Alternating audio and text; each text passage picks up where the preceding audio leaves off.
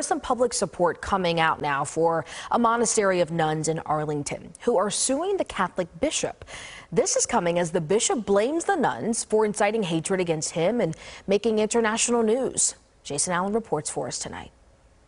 With the gates to this Arlington monastery closed now for more than a month, a group of hundreds that supports the work of the Carmelite nuns is urging the Fort Worth Diocese to allow services there to resume.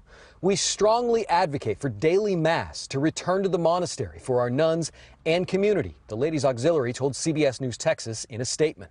And from the outgoing president of the group, I never thought I would need to advocate on their behalf in this way, but in the face of injustice, I'm proud to stand publicly behind them.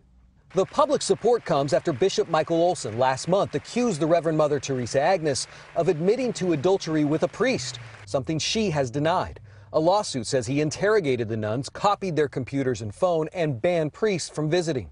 The civil attorney for the nine nuns told us they wrote to Olson last week asking for mass, confession, and public access to be restored.